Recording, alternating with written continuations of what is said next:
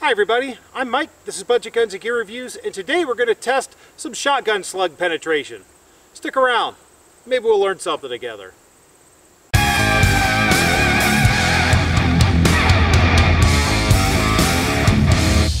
So I have several different brands of shotgun slugs, and I'm going to test how far they'll penetrate gallon jugs of water. I have 10 of them lined up on a board down there over two sawhorses.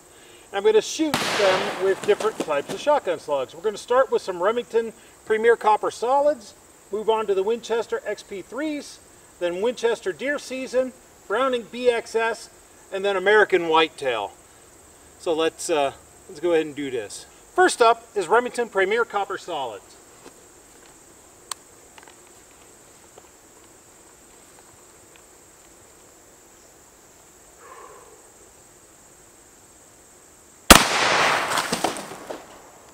Let's see what that looks like.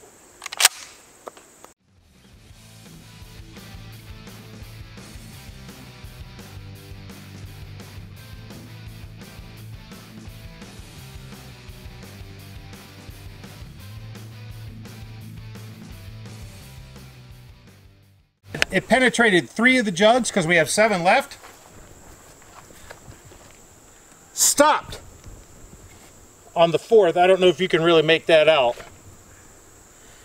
Stopped right there on the fourth, dented it a little bit. it was laying right there on the uh, on the board. So that's the slug that we repair we recovered from the Remington Premier Copper Solid. Uh, full expansion, full weight retention. Uh, penetrated three of those jugs.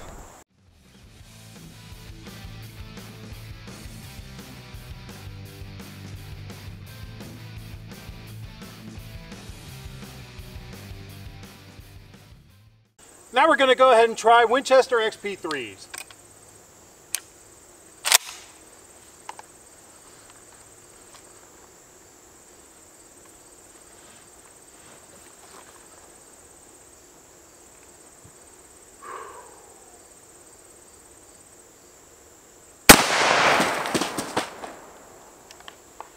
Let's see what that did.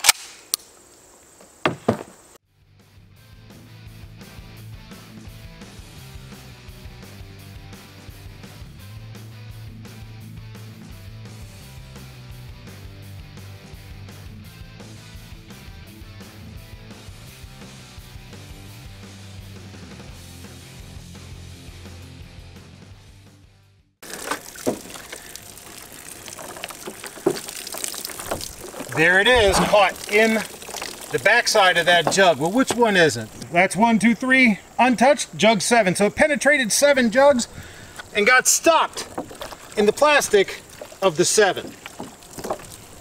So the Winchester XP3 has some good penetration.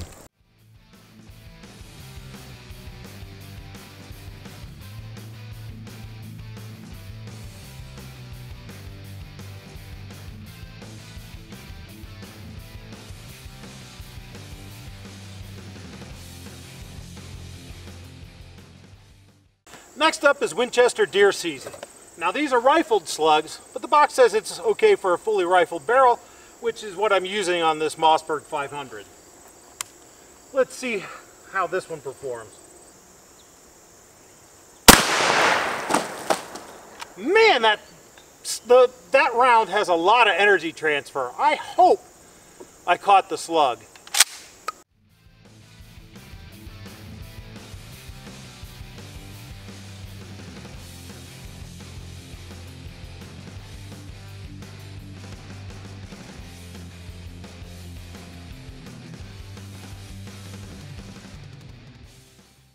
Looks like the uh, stabilizer that it has and the uh, projectile separated, but uh, that projectile's awful mangled. Holy cow.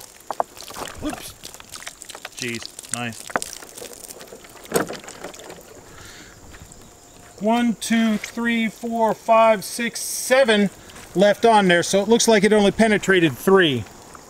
So here's what I recovered from the jug. This is the stabilizer that's on the rear of it which fits, as you can see there's the impression of it, fits the, the lead on top of the stabilizer. And then this piece was around it like this.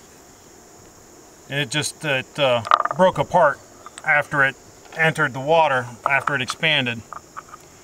So that would be kind of, I think this right here is what it would look like. And it just broke apart. If you enjoy content like this, do me a favor.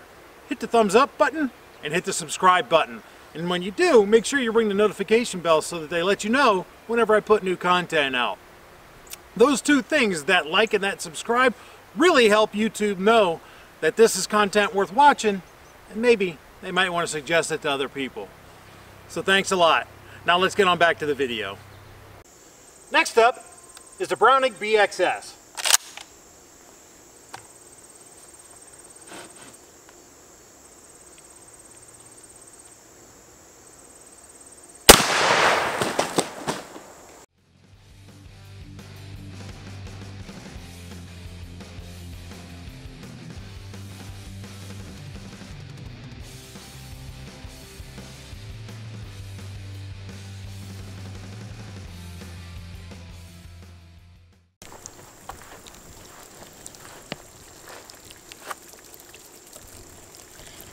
So there it is, caught and stopped right there.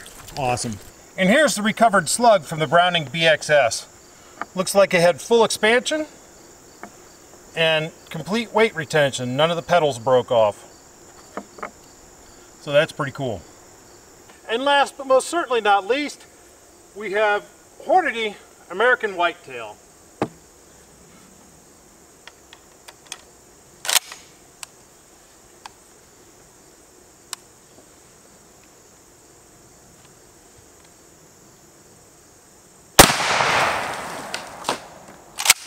Let's take a look at this one.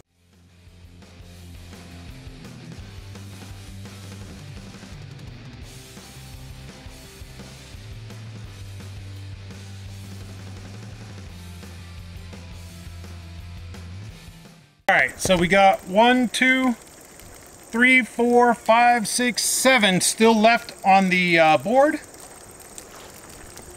And it looks like the slug is in number three, right there in the bottom. So here's the slug from the Hornady American Whitetail. As you can see, it opened up nicely.